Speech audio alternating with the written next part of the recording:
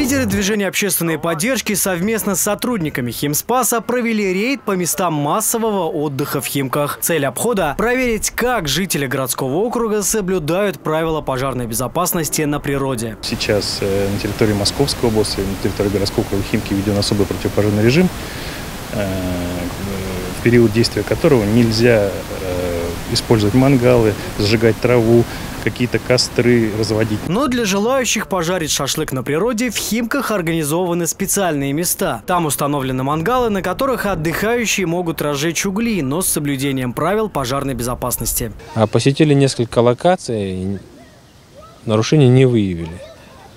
Кроме того, погода не позволяет, видимо, гражданам жарить шашлыки.